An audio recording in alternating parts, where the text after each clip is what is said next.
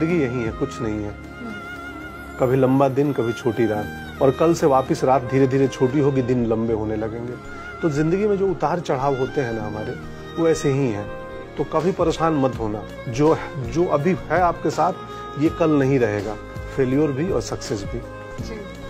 तो इसलिए परेशान मत होना कि मैं असफल हूँ। नहीं आप असफल आज हो तो कल सफल होगे।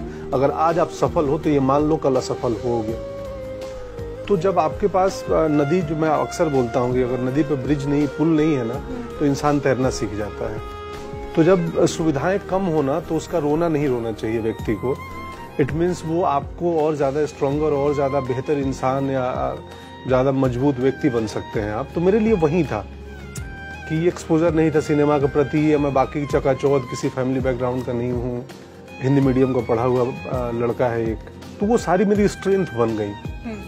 अगर मैं चाहता या मैं फंसता तो मेरी कमियाँ बन जाती और मैं कहीं नहीं पहुँचता।